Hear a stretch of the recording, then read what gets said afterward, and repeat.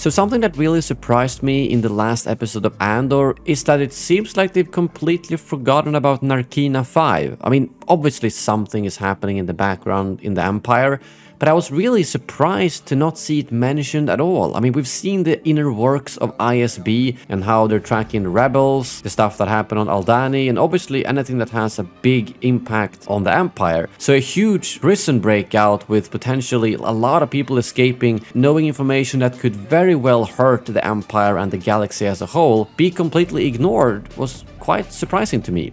I'm sure there's an explanation for it, maybe there's a different part of the ISB or maybe not the ISB at all, but I was kind of hoping to see something connected with that. Maybe a little bit of chaos in the ISB or maybe them even capturing some of the prisoners that escaped and interrogating them and finding out it was Cassian. You know, anything like that. Because I'm assuming that most people didn't escape. They either captured them, killed them, or they just didn't get off the planet. So Melshi and Cassian might have been the only two actually. But even so, the Empire would know that they were missing anyways, which I think would be a big deal to them considering the information that they got before they actually escaped. So what do you guys think? Is it completely natural that they never mentioned Narkina 5 again, or had you hoped to see some type of mention or conclusion to that in the finale?